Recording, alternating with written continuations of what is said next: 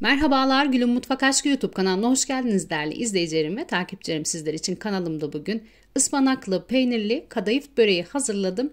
Gelin dilerseniz tüm detaylarıyla böreği nasıl hazırlamışım videoda sizlere tarifi anlatayım. Tarifim için malzemelerim Öncelikle tarifim için yarım kilo kadayıf kullandım. Tel tel ayırıyorum kadayıfı. Hem çok pratik bir börek hem çok lezzetli bir börek, dışı çıtır çıtır, içi yumuşacık bir börek tarifi kanalımda sizleri bekliyor. İyice kadayıfları birbirinden ayırdıktan sonra içerisine bir çay bardağı süt ilavesi yapıyorum. Bir su bardağı sıvı yağ ekliyorum. Sütü ve sıvı yağ iyice kadayıfa yedireceğim. Her tarafına değecek şekilde karıştırıyorum kadayıfı.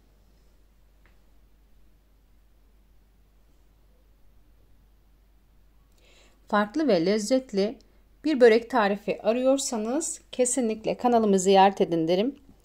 İnanın lezzetini çok beğeneceksiniz. Her yaştan insanın zevkle yiyebileceği bir börek tarifi.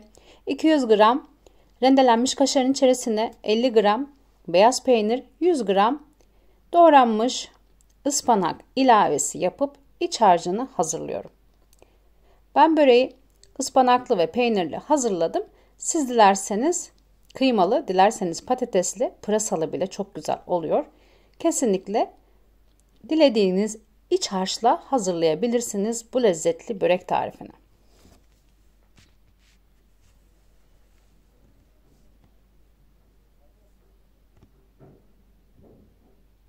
İç harcını hazırladıktan sonra kenara alıyorum ve gördüğünüz gibi Tepsimin içerisine yağlı kağıt serdim ve öncelikle kadayıfımın yarısını tepsi içerisine seriyorum.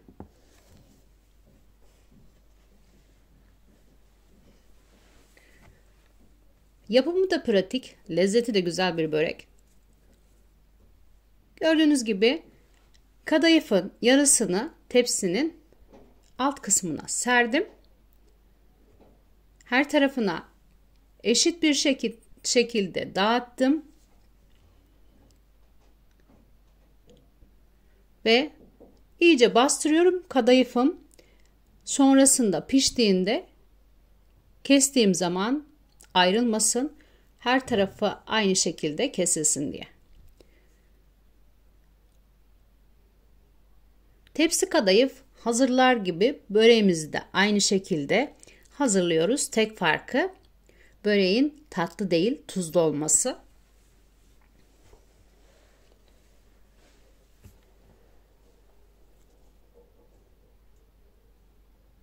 Gördüğünüz gibi her tarafına aynı şekilde sertçe bastırıyorum. Ve iç harcımı hazırladığım peynirli ıspanaklı iç harcı içerisine alıyorum. Dilediğiniz iç harçla hazırlayabileceğiniz bir börek tarifi.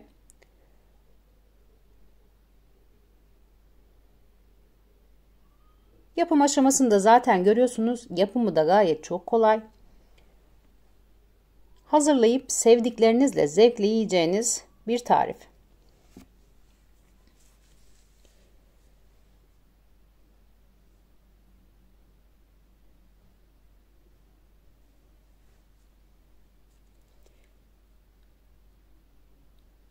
İç harcımın hepsini gördüğünüz gibi tepsi içerisine aldım. Tekrardan geri kalan kadayıfı iç harcın üzerine seriyorum. Toplamda tarif için yarım kilo kadayıf kullandım. Yarısını alt kısmına serdim.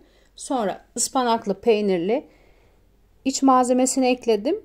Geri kalan kadayıfı da aynı şekilde üzerine ekleyeceğim.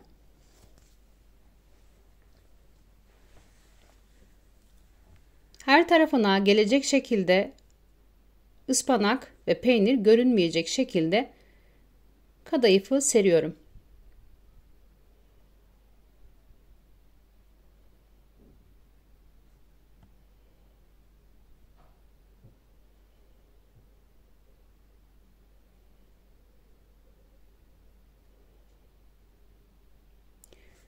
Serdiğim kadayıfı tekrardan sıkıca sert bir şekilde bastırıyorum. Üzeri her tarafı aynı eşit olsun diye pişerken tel tel ayrılmasın diye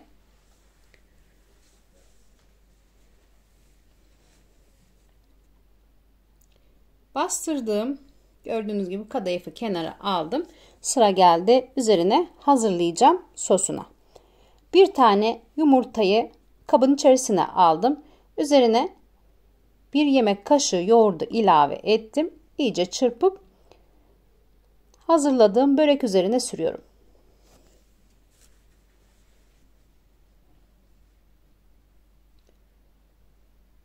Her tarafına gelecek şekilde hazırladığım sosu sürüyorum.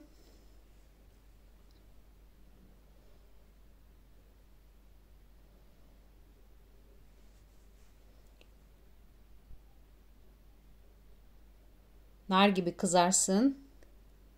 Lezzeti gibi görüntüsü de güzel olsun diye. Bir tane yumurtayı ve bir yemek kaşığı yoğurdu birbirine karıştırdım ve üzerine bir sos hazırladım. Sosu her tarafına gelecek şekilde sürüyorum.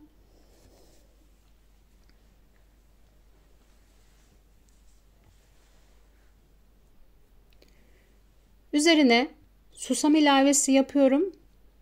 Dilediğiniz kadar ekleyebilirsiniz. Ben çok eklemedim.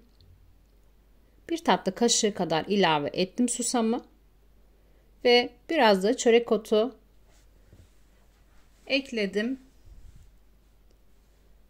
O da yine bir tatlı kaşığı kadar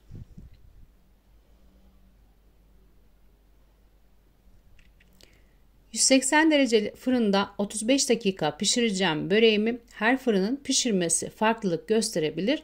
O yüzden üstü alt kızardığında fırından çıkartabilirsiniz böreğinizi. Gördüğünüz gibi benim böreğim gayet iyi pişmiş. Sıra geldi böreğimi servise hazırlamaya. Sizlere dilimleyip içerisinde göstereceğim. Çok lezzetli, güzel bir börek tarifi. Ben hiçbir zaman lezzetinden emin olmadığım hiçbir tarifimi yayınlamıyorum. Sizler de gönül rahatlığıyla bu böreği zevkle yapabilirsiniz.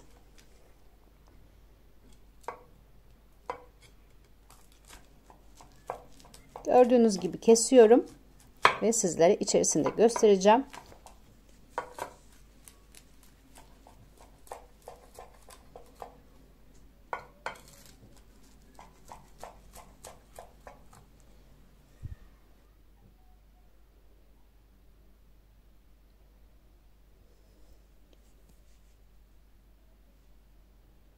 Gördüğünüz gibi böreğimin ıspanaklı, peynirli böreğim servise hazır şimdiden. Hazırlayacaklara afiyet olsun. Kanalıma abone olmayı ve beğeni yapmayı unutmayın lütfen. O güzel yorumlarınızı videomun altına bekliyorum. Sizlerin görüşleri benim için çok önemli.